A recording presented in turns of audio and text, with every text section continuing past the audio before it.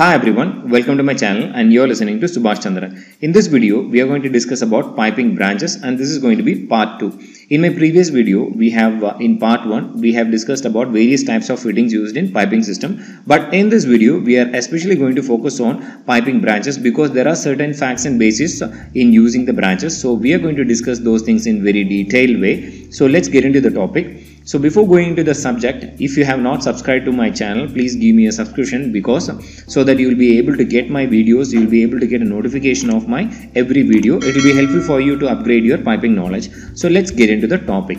In today's video, we are going to address three important areas of piping branches. One of the first one is that what is the different types of branch fittings available?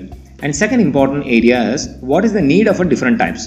See, when we have a different types of fittings and we should understand the purpose of each fitting type.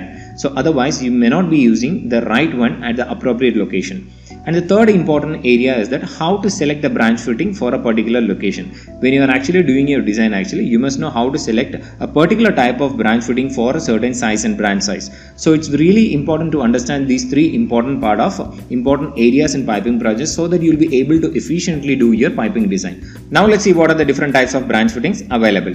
The first type is equal T. Equal T is a type of fittings used when the branch size is equal to the header size. Let's say for an example, you wanted to take 10 inch branch size from the 10 inch header, you will be using equal T. And the second type is reduced T. Reduced T from the name itself, it's very clear that it is used for reduction in size. If your branch size is lesser than your header size, you must be using reduced T. And the third one is the Weldolet. Weldolet is also a type of fitting that is used for branch connections and it is joined with piping by means of butt weld joints. And the fourth type is Sockolet. Sockolet is also an another type of branch fittings that is used for taking branches from piping and it is joined with piping by means of socket weld joints. And the fifth one is a threadolet. Threadolet is also a type of another type of fittings that is used for taking branch connections but it is joined with piping by means of threaded joints and the another type is an elbowlet. Elbowlet is a special type of branch fittings which is only used for taking branches from the elbows.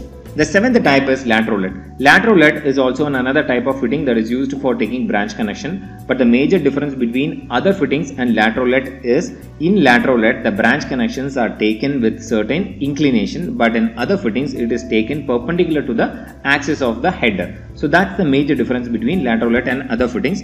And the eighth type is half coupling. Half coupling is also an another type of fitting used for taking branch connection which is almost equivalent to sockolet because half coupling connects with piping by means of socket weld joints. You will be able to see a small socket over here. This is the step is known as a socket. Even in the sockolet you can find the step and this is known as a socket. This provides the provision to do a socket weld joints basically. So that's why half coupling is almost similar to sockolet. The last one we have over here is the sweepolet. Sweepolet is also a type of fitting that comes with the RF pad. RF pad means reinforcement pad. These types of fittings are generally used wherever the header pipe thickness is lesser or the pipe stress is more at the branch point. So basically in order to protect the walls of the piping these types are used. So these are the different types of branch fittings available in piping. Now let us see few more types based on fabrication. One of the first type based on fabrication we have over here is the stub-in type. Stub-in means that pushing the branch pipe inside the header pipe which means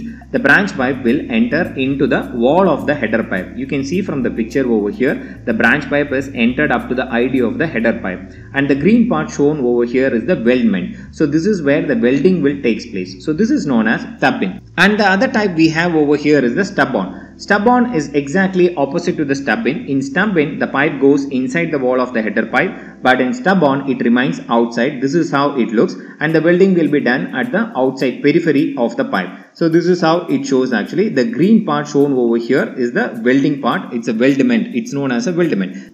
And the last type we have over here is the branch with the reinforcement pad. Branch with reinforcement pad is nothing but taking a simple branch by using an additional reinforcement pad. Reinforcement pads are always used only wherever the thickness of the header pipe is lesser or the stress may be higher at the point of taking a branch connection. So in order to minimize the stress and also to protect the wall of the header pipe, we will be using the RF pad. These are the three types of branch connections based on fabrications. So far we have seen different types of branch fittings. Now it's time to understand what is the need of different types. We have equal T, reduced T and weldolet types.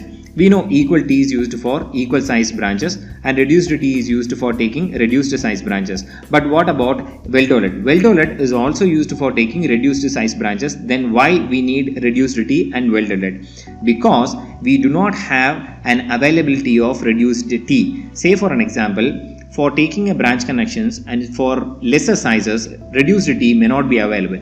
That is the only reason why weldolets are used. I will show you exactly in the standard from the manufacturing table. This is a table that I have taken from an American standard B16.9. From this table, we can identify the availability of reduced T. And for sizes where reduced T is not available, then we will be using weldolet or other types of olet. Now let us see one particular size. Let's take the 16 inch header size. For 16 inch header size, the maximum reduction we can do is only up to 6 inch. So this means the branch size actually. We can't go further for the 16 inch size. So imagine a case where you have to take a 2 inch connection from the 16 inch header. In that case, we have to use weldolet. That is the only reason why we are using different types of olets because for many sizes reduced T's are not available. Let's look at the 18 inch also. For 18 inch the maximum reduction you can make is only up to 8 inch. Say for an example if you want to take 4 inch connection from 18 inch pipe you do not have reduced T you have to go for weld weldolet only. This is the fundamental reason why we are using weld weldolet for taking branch connections. Now let us understand the need of weldolet, thread threadolet and half coupling as all of these olets are used for taking branch connections. Now I would like to request you about one of my previous videos about pipe material specification which is also known as piping class. For those who have not watched this video, I kindly request you to go and watch it so that you will be able to understand what I am talking about. Pipe material specification is a document that is designed to suit for certain fluid services based on certain parameters such as design temperature and design pressure and corrosive nature of the fluid based on which the material engineer assign olets for different sizes.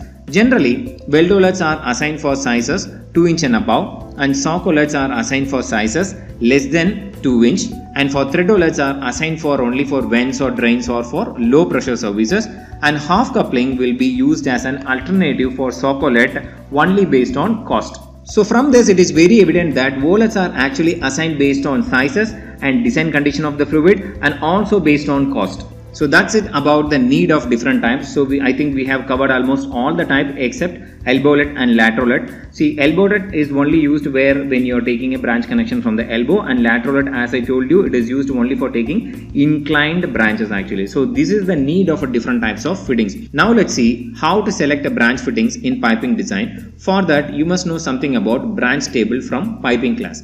Branch table looks like this. In this the horizontal table, the horizontal bar indicates the branch sizes and the vertical bar indicates the header sizes. Say for an example, you wanted to take 2 inch branch from 10 inch header. What type of fitting you should use? W. So what is W? For that you should refer the legend. Legend will clearly tell you the terminology of the alphabet. S stands for sockolet, W stands for weldolet, RT stands for reduced T and ET stands for equal T. So what type of fitting we should use? Weldolet. Let's look at another example.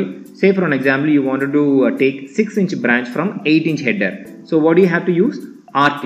It's a reduced T. What about for equal sizes for 6 inch branch from the 6 inch header? You have to use ET which means equal T. So this is how you have to select the branch fitting for a particular branch size and the header size. For that you have to refer branch table. So I believe this video has helped you to understand the different types of branch fittings and the need of different types and how to select the branch fittings for your piping design. So thanks for watching my video and thank you for your support. Give me a like. More the likes indicates that you are interested in these types of topics so I'll be able to make more such videos and also don't forget to share with your friends and one more important thing don't forget to subscribe to my channel because that gives me more motivation to do more and more videos. I'll meet you in another fantastic video. Until then, bye from Subhash Chandra.